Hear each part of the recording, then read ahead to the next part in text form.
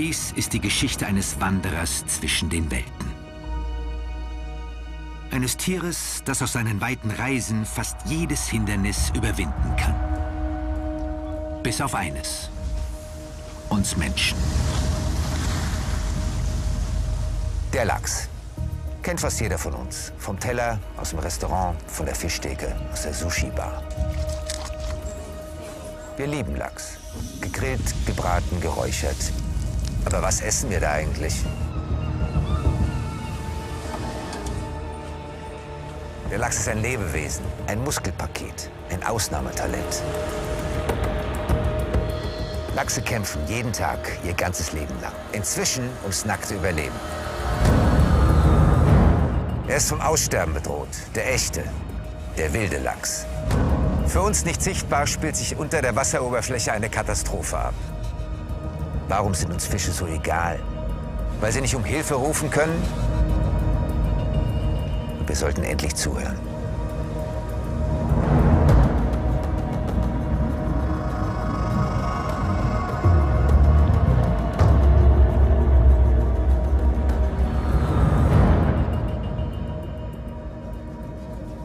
Das Leben aller neuen Lachsarten beginnt im Süßwasser. Auch bei uns in Deutschland waren Lachse einmal heimisch. Noch vor 100 Jahren war der Rhein der bedeutendste Lachsfluss Europas. Aus ihren Geburtsflüssen wandern die meisten Lachsarten ins Salzwasser und verbringen dort den Großteil ihres Lebens. Der atlantische Lachs zum Beispiel durchschwimmt die gemäßigten bis arktischen Gewässer des Atlantiks. Andere Arten bevorzugen die kalten Regionen des Pazifiks. Doch mindestens einmal im Leben treten alle Lachse eine spektakuläre Reise an.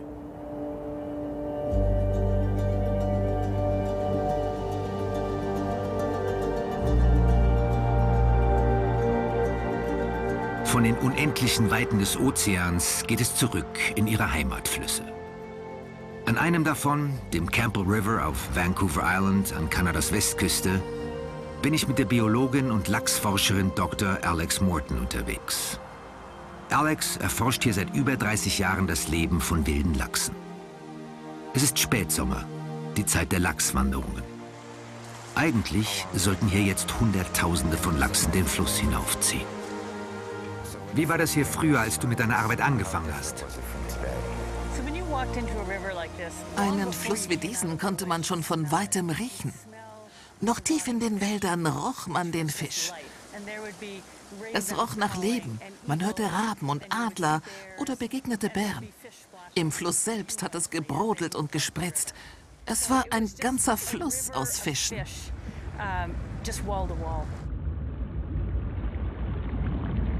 Wie lange ist das her?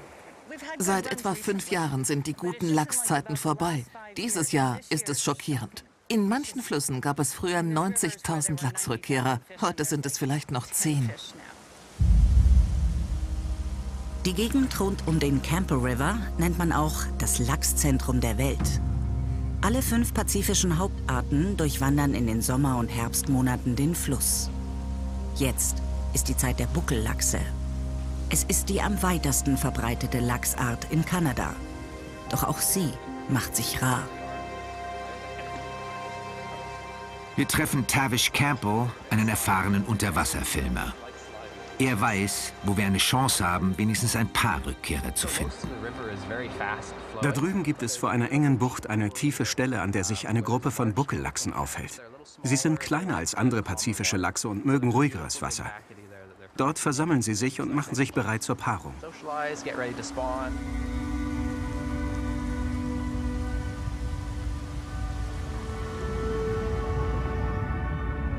Noch haben die Buckellachse eine strapaziöse Reise vor sich.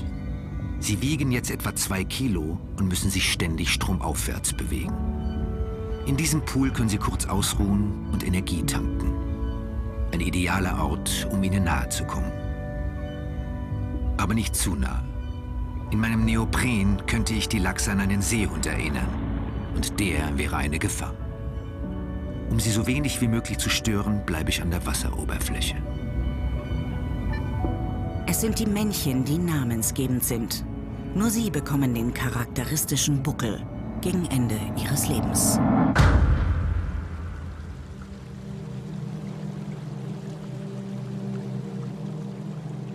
Auf dem Rückweg finden wir frische Lachskadaver. Wertvolle Untersuchungsobjekte für die Wissenschaftlerin Alex Morton.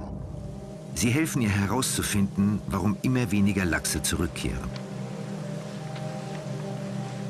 Seit Jahrzehnten untersucht die Biologin verendete Raubfische aus sämtlichen Flüssen von Vancouver Island.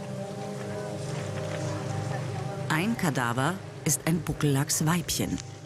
Dass Lachse so kurz vor ihrem Ziel, den Laichgründen, sterben, ist ungewöhnlich. Ist sie eines natürlichen Todes gestorben? Die gelbe Farbe der Haut deutet darauf hin, dass sie vermutlich mit dem sogenannten PRV, dem Piscin-Reo-Virus, infiziert war. Ich will wissen, wie sich Lachse mit diesem Virus anstecken und wie es sich auswirkt. Noch vor Ort beginnt die Wissenschaftlerin mit der Untersuchung. Für ihre Studien benötigt Alex Organproben. Viele der mit dem Reo-Virus infizierten pazifischen Lachse sterben an Leberversagen oder Blutarmut. Im Fall dieses Weibchens kurz vor der Fortpflanzung. Das ganze Leben von Lachsen ist darauf ausgerichtet, Nachwuchs zu zeugen. Es ist wirklich eine Tragödie, dass aus den Eiern dieses Weibchens keine Babys mehr werden. Wenn Buckellachse im Campbell River schlüpfen, bleiben sie nur für ein paar Tage am Ort ihrer Geburt. Sobald die Lachskinder rund drei Zentimeter groß sind, gehen sie auf Wanderschaft. Ihr Ziel der Nordpazifik. Im kalten und futterreichen Salzwasser fressen sie sich groß und stark. Nach etwa 18 Monaten werden sie auf eine Größe von rund einem halben Meter herangewachsen sein. Dann kehren sie an den Ort ihrer Geburt zurück. Doch ihre Heimreise ist gefährlich. Ihr Rückweg führt sie an zahllosen Fangflotten vorbei.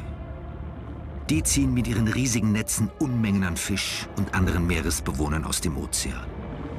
Fast die Hälfte des weltweiten Fangs verendet als sinnloser Beifang. Wieso ist uns bei Fischen egal, was an Land undenkbar wäre? Würden wir je tolerieren, dass ganze Wälder und deren Bewohner vernichtet werden, nur weil wir einen Rehbraten auf unserem Teller haben wollen? Würden wir stillschweigend akzeptieren, dass Umweltgifte, Müll und andere toxische Substanzen mitten auf Feldern und Wiesen entsorgt werden? Wir entnehmen dem Meer alles und geben lediglich unseren Dreck zurück. Das kann auf Dauer nicht gut gehen.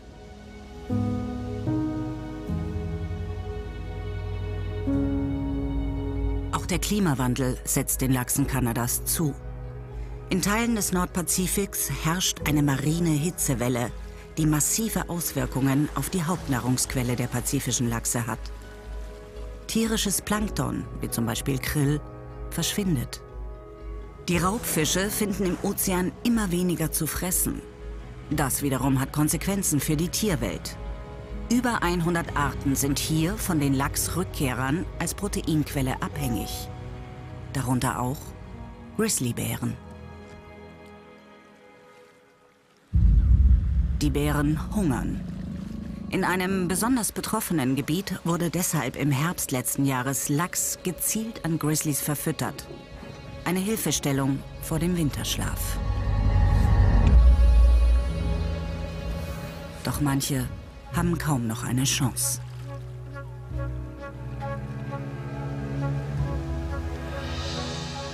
Die kanadische Provinz British Columbia veröffentlicht schockierende Zahlen. Im Jahr 2019 kehrten so wenige Rotlachse wie noch nie in ihre Heimatflüsse zurück. Auch die Zahl des größten und stärksten pazifischen Lachses, des Königslachses, sind rückläufig. Bilder wie diese scheinen der Vergangenheit anzugehören. Schwärme von Lachsen, die gegen alle Hindernisse ankämpfen.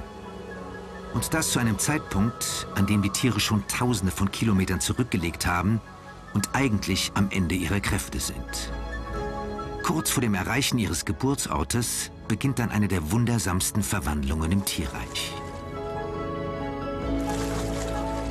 Bei Rotlachsen wird sie besonders deutlich. Ihr Kiefer wird länger, Hakenzähne brechen durch.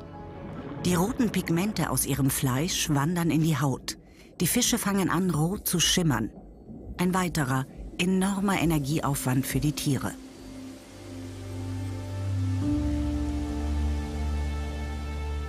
Am Oberlauf des Flusses werden die Rotlachse ihren Nachwuchs zur Welt bringen. Die Weibchen schlagen dafür eine Grube in den Kies und legen dort ihre Eier ab. Die Männchen befruchten das Gelege. Nach dem Liebesakt sterben pazifische Lachse. Denn ihr Lebenszweck ist erfüllt. Am Ort ihrer Geburt haben sie einer neuen Generation das Leben geschenkt. Doch selbst nach ihrem Tod sind Lachse wichtig für das gesamte Ökosystem. Ihr Aas nährt das Leben. Das will mir die Biologin Dr. Alex Morton zeigen. Wir sind zurück am Campbell River. Direkt vor uns taucht plötzlich ein junger Schwarzbär auf. Er wittert Beute.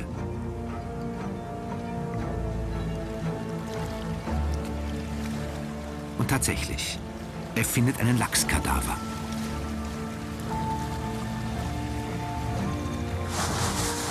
Er verschwindet damit im Wald.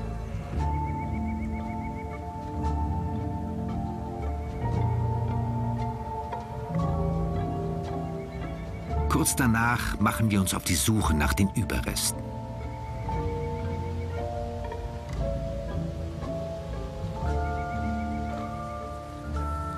Da ist was. Der Fischkadaver zersetzt sich hier im Wald, seine Nährstoffe sickern langsam in den Boden und wandern über die Wurzeln hoch bis in die Baumwipfel. Lachse sind Dünger für den Wald. Sie transportieren wichtige Nährstoffe aus dem Meer weit ins Landesinnere. Zum Beispiel Phosphor und Stickstoff.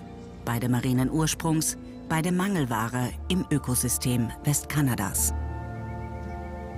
Was passiert mit dem Ökosystem, wenn eine Schlüsselspezies wie der Lachs fehlt? Wenn wir Lachse verlieren, ist das so, wie wenn jemand den Strom für dein Haus kappt. All die Energie, die dafür gesorgt hat, dass du es warm hast, es dir gut geht und du gedeihen kannst, ist weg. Lachse sind absolut lebenswichtig, weil sie den Ozean mit diesen Wäldern verbinden.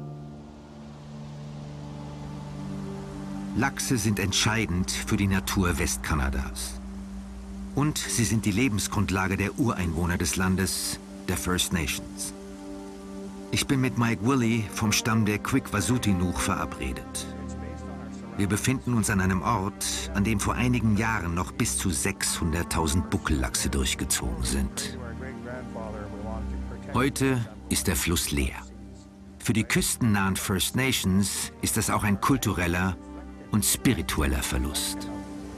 The salmon die-off is a really, it's devastating. Das Sterben der Lachse zerreißt mir das Herz. Der Lachs hat unsere Leute verbunden. Er war der Mittelpunkt bei unseren Versammlungen, unseren Zeremonien, unseren Festen. Er war das Grundnahrungsmittel der First Nations Kanadas.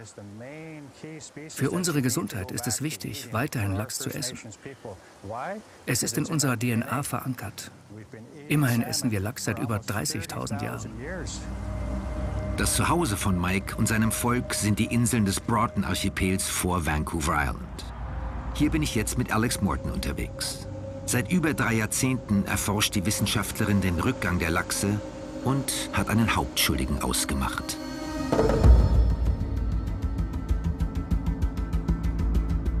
Lachsfarmen. Es gibt hunderte solcher Zuchtlachsbetriebe in den Fjorden von Vancouver Island. Die meisten sind in der Hand von drei norwegischen Großkonzernen. In ihren Gehegen schwimmen atlantische Lachse. Sie lassen sich leichter in Masse züchten als die hier heimischen pazifischen Arten. Doch die Zuchtlachse aus dem Atlantik bringen Gefahren mit sich. Krankheitserreger wie zum Beispiel das Reovirus. Folge des Virus ist, dass den Fischen das Atmen schwerfällt.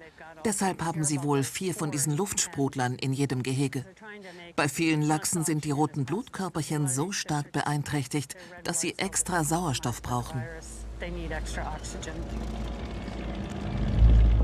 Alex erforscht die Auswirkungen der Zuchtbetriebe auf Wildlachse und das Ökosystem.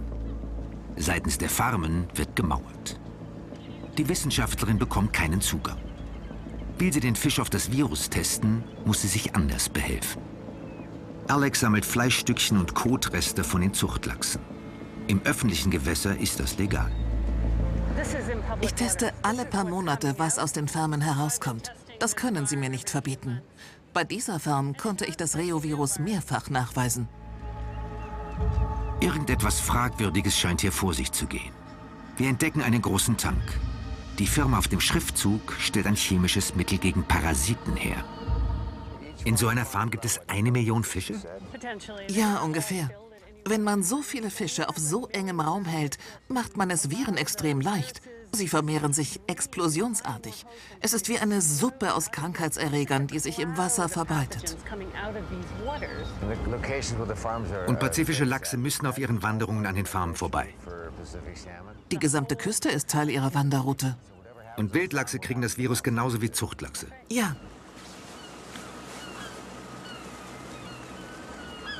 Unterwasserfilmer Tavish Campbell arbeitet seit Jahren mit Alex zusammen. Er wird jetzt weitere, frische Kotproben für die Wissenschaftlerin sammeln. Dafür muss er so nah wie möglich an die Zuchtfarm herantauchen. Auch das ist legal, solange er weder Netze noch Fische berührt. Unter Wasser wird schnell klar, warum sich Wildlachse mit Krankheiten aus den Farmen anstecken. Die Netze sind offen. Aus einer von PAV betroffenen Lachsfarm können bis zu 65 Millionen Viruspartikel pro Stunde austreten. Das hat eine aktuelle Studie ergeben. Den Lachsen in den Netzen setzen neben dem Virus auch andere Krankheiten zu. Seit Jahren sammelt Tavish Campbell schockierende Aufnahmen von deformierten oder verletzten Zuchtlachsen.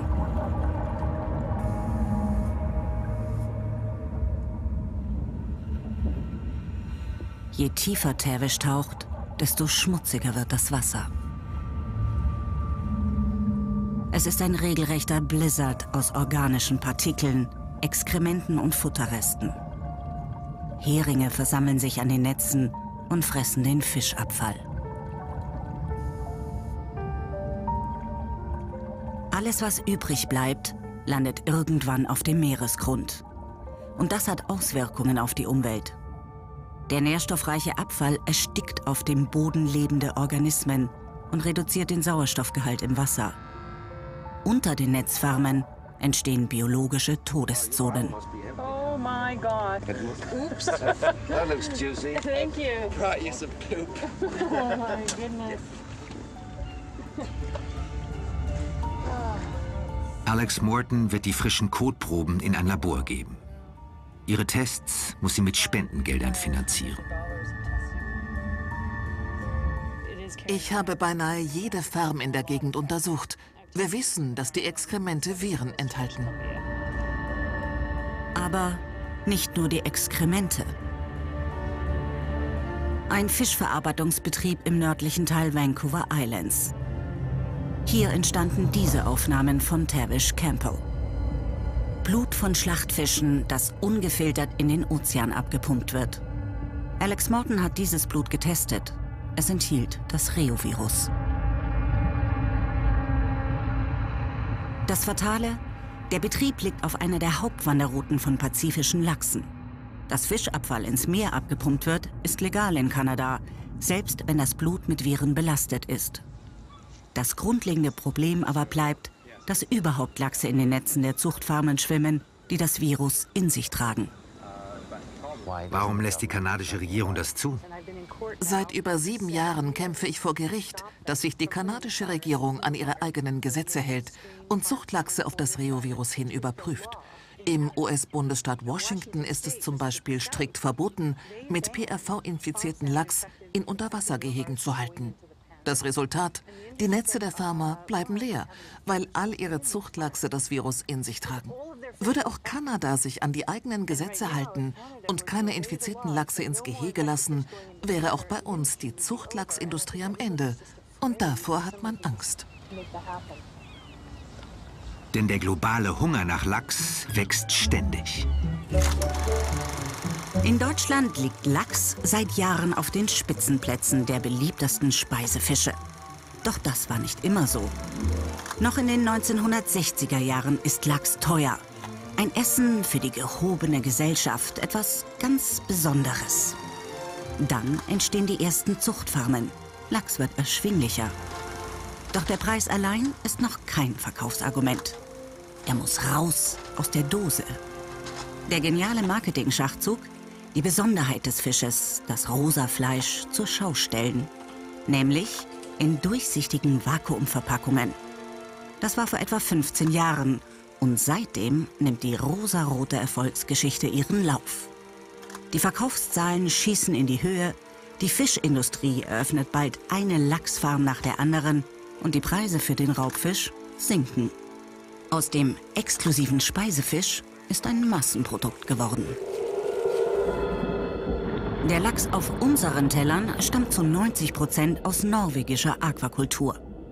In den Netzgehegen schwimmen geschätzt fast eine halbe Milliarde Zuchtlachse. Das Land ist der größte Zuchtlachsproduzent der Welt. Norwegens Fjorde sind übersät von mehr als 1000 Lachsfarmen. Zu einer von ihnen bin ich jetzt unterwegs. Grieg Seafood in der nördlichsten Provinz Norwegens. Es ist Winter, die Sonne zeigt sich nur für wenige Stunden im Zwielicht. Grieg Seafood ist einer der weltweit größten Lachsproduzenten. Im Jahr 2020 will man 100.000 Tonnen, also 25 Millionen Lachse verarbeiten. Und hier fängt alles an. In der Brutstation. Nach unzähligen Anfragen und ebenso vielen Absagen haben wir tatsächlich jetzt eine Farm gefunden, die uns drehen lässt. Ich bin mit dem PR-Manager von Grieg Seafood Finnmark, Roger Pedersen, verabredet. Er bringt mich in die Kinderstube der Station. In diesen unscheinbaren grauen Boxen ist Leben. Mehr als zwei Millionen frisch geschlüpfte Lachsbabys wachsen hier heran. Rund 35.000 pro Box. Wie alt sind diese Babys? Vier oder fünf Tage. Und sie ernähren sich vom Dottersack? Ja, sie haben für die nächsten zwei Monate ihr Essen selbst mitgebracht. Die Eier kommen bereits befruchtet in der Brutstation an. Obwohl sie genetisch optimiert sind, kommt es auch zu Fehlentwicklungen. Tote oder deformierte Babys werden abgesaugt und entsorgt. Die Lachseier bezieht man hier von zwei Herstellern. Benchmark aus Großbritannien und Aquagen, der zu einem deutschen Großkonzern gehört. Die beiden Hersteller kontrollieren den weltweiten Genpool von Zuchtlachsen. Der Eihersteller will das Beste für den Fisch. Man will einen Fisch, der gesund ist. Und man will einen Fisch, der schnell wächst. Nach rund 60 Tagen sind die Lachse groß genug für die zweite Station ihres Lebens. Sie kommen in größere Süßwassertanks. Die Wassertemperatur und der Sauerstoffgehalt werden per Computer überwacht und gesteuert. Die erste Nahrung der Raubfische besteht aus einem proteinreichen Mix von pflanzlichen Rohstoffen und Fischmehl. Damit fressen sich die Lachse rund 200 Gramm an. Das dauert hier in Finnmark ungefähr 10 Monate. Anschließend werden die jungen Fische an Salzwasser gewöhnt und kommen schließlich ins Gehege im offenen Meer.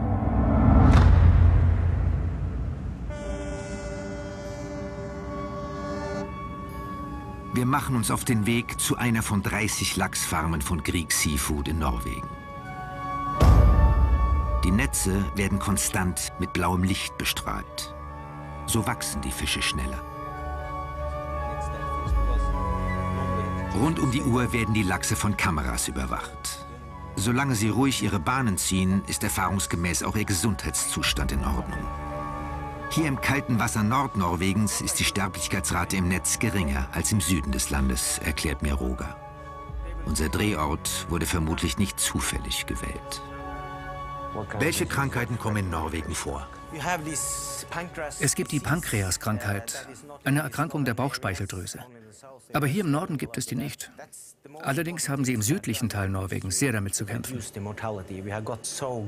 Die Fischsterblichkeit zu verringern ist eines der wichtigsten Ziele der Zuchtlachsindustrie. Es gibt heute schon so viele gute Impfstoffe. Die Fischindustrie ist ja gerade mal 50 Jahre alt. Wir sind also noch mittendrin, immer neue und bessere Impfstoffe zu entwickeln. Wie lange soll die Lernphase denn noch dauern? Sollten wir nicht erst Lösungen parat haben, bevor wir auf Kosten von Tieren einfach ausprobieren? Egal ob unter oder über Wasser? Sollten wir nicht endlich damit aufhören, Geschöpfe gewaltsam der effizientesten Haltungsform anzupassen? Wann begreifen wir, dass wir einen angemessenen Preis für tierische Lebensmittel zahlen müssen? Dabei bezahlen wir doch ohnehin schon. Die Massentierhaltung an Land produziert unter anderem Unmengen an Gülle. Das wiederum verpestet unsere Böden und macht Trinkwasser bald empfindlich teuer. Was die intensive Landwirtschaft angeht, findet langsam ein Umdenken statt. Doch wann rücken Fische und die ach so saubere Aquakultur bei uns in den Fokus der Öffentlichkeit?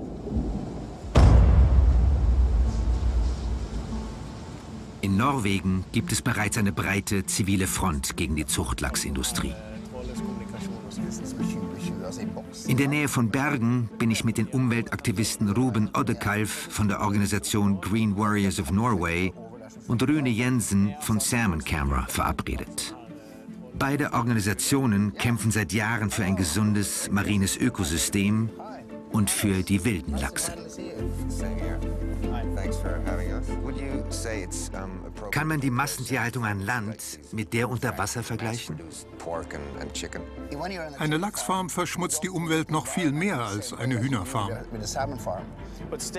Wenn man den Zuchtlachs selbst betrachtet und die schlechten Haltungsbedingungen für den Fisch, kann man das sehr wohl mit der Massentierhaltung in einer Hühnerfarm vergleichen.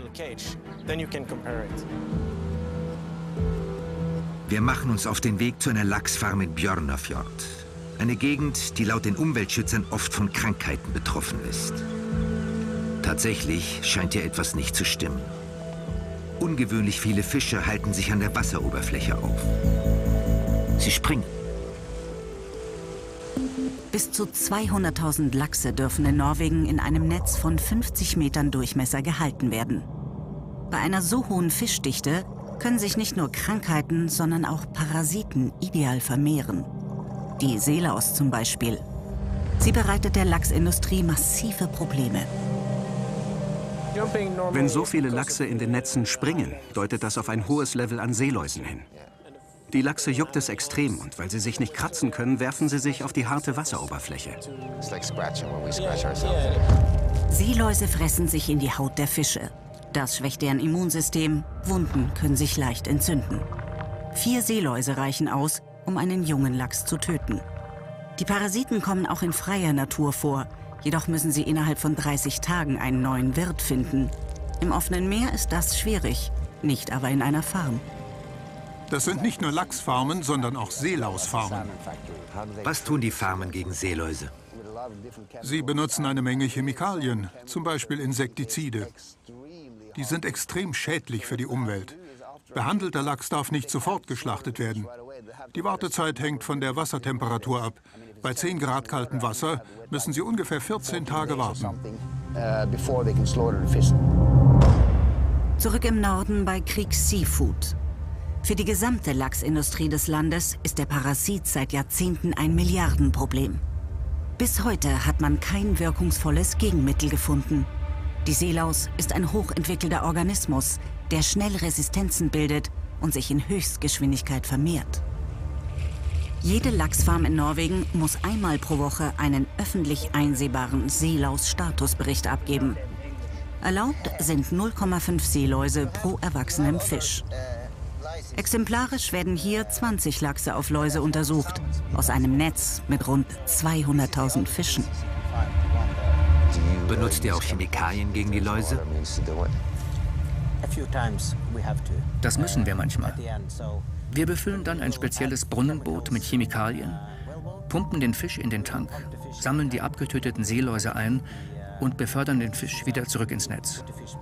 Das verunreinigte Wasser leiten wir am Ende ins offene Meer ab. Was hat das für Auswirkungen für die Umwelt? Da kann man nie 100% sicher sein. Deshalb dürfen wir das Wasser auch nicht in den Fjorden entsorgen, wo sich viele Wildfische aufhalten.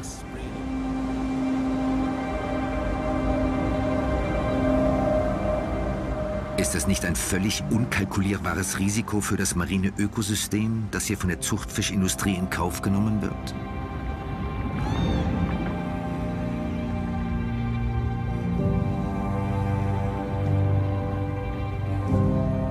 Giftige Chemikalien, die das Meer verschmutzen. Krankheiten und Parasiten, die sich ungehindert in den Fjorden ausbreiten. Die Ozeane sind der größte Lebensraum unseres Planeten. Sie sind unsere bedeutendsten Sauerstoffproduzenten und wichtige CO2-Speicher. Sie stabilisieren unser Klima. Doch wir zerstören das Gleichgewicht in den Weltmeeren und bringen damit uns und alle anderen Lebewesen in Gefahr.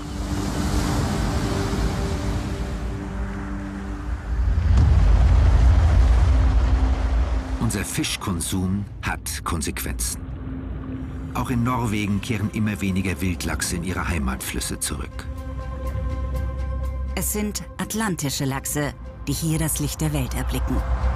Genau wie ihre pazifischen Verwandten verbringen auch sie die meiste Zeit ihres Lebens im Ozean und kehren nur zum Leichen an den Ort ihrer Geburt zurück. Manche atlantische Lachse können bis zu 25 Kilogramm schwer werden.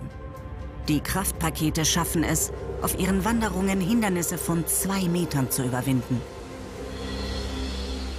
Doch gegen ein Hindernis sind auch sie machtlos. Fischfarmen.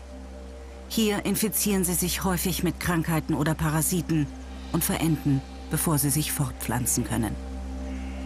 Rüne Jensens Organisation Salmon Camera hat ausgerechnet, dass der Wildlachsbestand des Landes innerhalb der letzten 30 Jahre um über 80 Prozent zurückgegangen ist.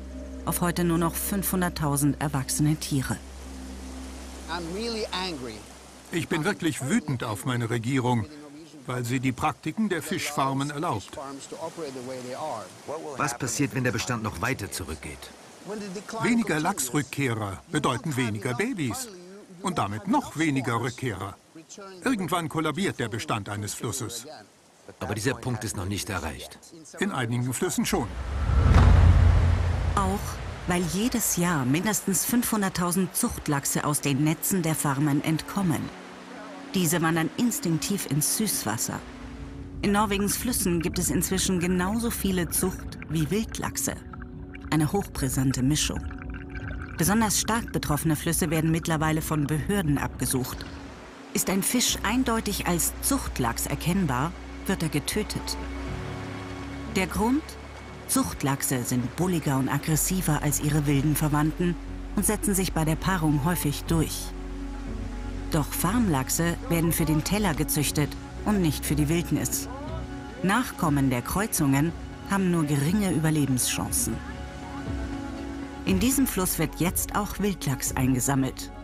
Ein DNA-Test mit Hilfe seiner Schuppen schließt Irrtümer über die Herkunft des Fisches aus und bestimmt gleichzeitig seine exakte Geburtsregion. Informationen, die man in der Genbank Hardangerfjord dringend benötigt. Ich bin mit dem Leiter der Einrichtung, Sven Helge Pedersen, verabredet. Die Genbank ist seit 2015 in Betrieb. In jedem Becken wächst eine kleine Lachsfamilie heran. Norwegens Wildlachse haben sich jeweils auf einen bestimmten Fluss und seine Gegebenheiten spezialisiert. Eine genetische Anpassung, die bereits vor mehr als 8000 Jahren stattgefunden hat. Wir sorgen dafür, dass die einzigartigen Gene erhalten bleiben. Das müssen wir machen. Die Situation in den Fjorden ist wirklich schlimm. Wegen der Zuchtfischindustrie. Wer bezahlt für die Genbank? Die Behörden. Die Regierung? Warum bezahlen nicht die Zuchtfarmen dafür? Gute Frage. Weil sie es leugnen. Sie leugnen die Probleme. Sie leugnen, dass sie für die Probleme verantwortlich sind. Für die Babylachse des Granvin-Flusses ist heute ein besonderer Tag. Sie werden in die Freiheit entlassen. In ihren Fluss.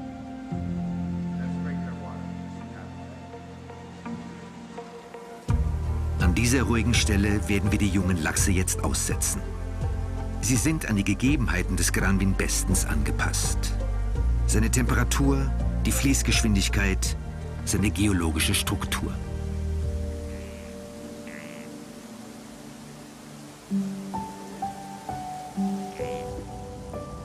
Rund drei Jahre werden die Lachskinder in ihrem Fluss verbringen und sich von Insektenlarven und Plankton ernähren.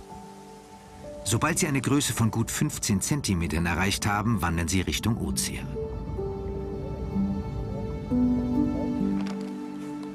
Das waren alle. Wie schnell die sind. Auf ihrem Weg in den offenen Ozean müssen die kleinen Lachse an rund 60 Fischfarmen vorbeischwimmen. Und bei ihrer Heimkehr, Jahre später, noch einmal. Wie optimistisch bist du, dass du die Kleinen in voller Größe wieder siehst? Nicht besonders. Wenn ich daran denke, was heute im Fjord los ist. Was du hier machst, ist eigentlich der Kampf David gegen Goliath. In vielerlei Hinsicht ist das so. Das Schlimmste ist, dass wir nicht nur den Lachs verlieren. Mit ihm verlieren wir auch das Wissen darum, wie man einen Fluss pflegt und bewirtschaftet. Und wie wertvoll unsere Lachse einmal für kleine Gemeinden wie mein Heimatdorf waren.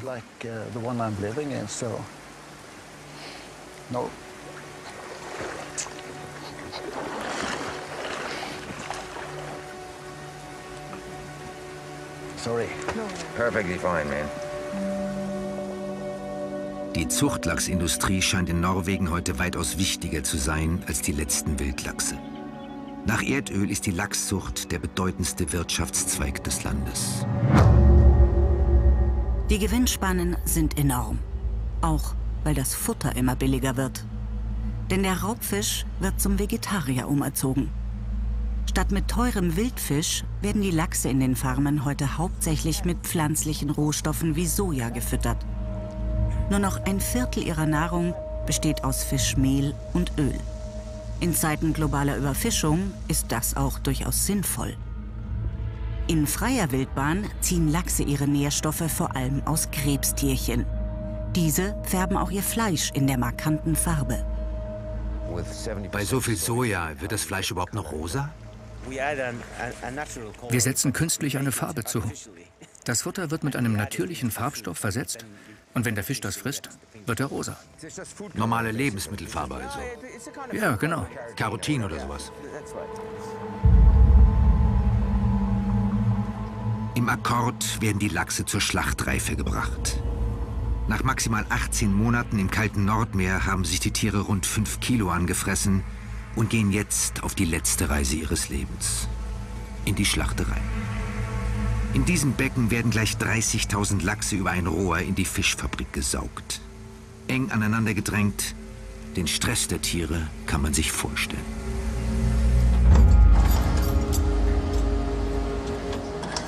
Per Kiemenschnitt werden die Fische getötet. Allein in dieser Fabrik werden bis zu 200 Tonnen Lachs pro Tag verarbeitet.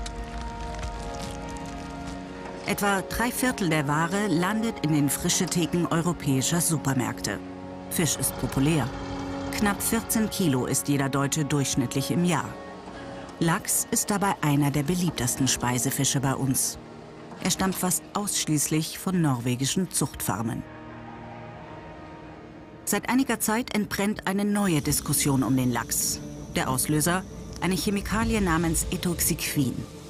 Ein Konservierungsstoff, für den es im Tierfutter einen strengen Grenzwert gibt, mit einer einzigen Ausnahme. Fischfutter. Die Chemikalie steht im Verdacht, das Erbgut zu schädigen und den Leberstoffwechsel zu verändern. Seit Jahren wird Etoxiquin in Fischprodukten aus Supermärkten nachgewiesen. In einer Greenpeace-Studie vom Dezember 2016 wurden über 50 Lachsprodukte auf die Chemikalie hin untersucht. Das Ergebnis alle Proben aus konventioneller Zucht sind belastet, zum Teil hoch. Studien aus Folgejahren zeichnen dasselbe Bild. Die Europäische Behörde für Lebensmittelsicherheit, EFSA, hat reagiert. Es wurde beschlossen, die Chemikalie im Fischfutter zu verbieten. Die Sache hat nur einen Haken. Es gilt eine Übergangsfrist, vermutlich bis Sommer 2020. Das bedeutet, dass Restchargen von Fischfutter mit Etoxiquin noch verwendet werden. Und aktuell legt der EFSA eine neue Studie seitens der Futtermittelindustrie vor, die Etoxiquin als unbedenklich einstuft. Dieser Sachverhalt wird gerade geprüft. Es kann also gut sein, dass alles weitergeht wie bisher. Studien von Seiten der Industrie zur Unbedenklichkeit einer Chemikalie, die sogar als Pflanzenschutzmittel längst verboten wurde? Das ist verantwortungsloser Lobbyismus. Werden wir als Verbraucher überhaupt noch ernst genommen? Sind denn wirtschaftliche Interessen wichtiger als sichere und gesunde Lebensmittel? Die gut geölte PR-Maschine seitens der Zuchtlachsindustrie scheint zu funktionieren. Doch es gibt auch Hoffnung. Überall regt sich Widerstand gegen die Fischfarmen. Zum Beispiel im Broughton-Archipel in Westkanada.